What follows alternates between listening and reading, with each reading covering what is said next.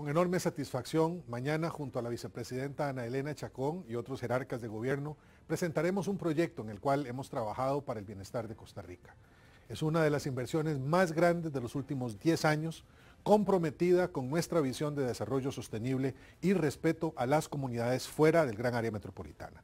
Generará empleo, inversión y encadenamientos en Guanacaste, desde Guanacaste, para Guanacaste y Costa Rica une el nombre de nuestro país a una marca global de enorme prestigio.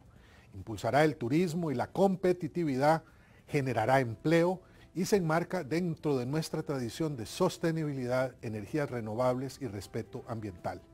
Esto es solo una muestra de Discovery Costa Rica.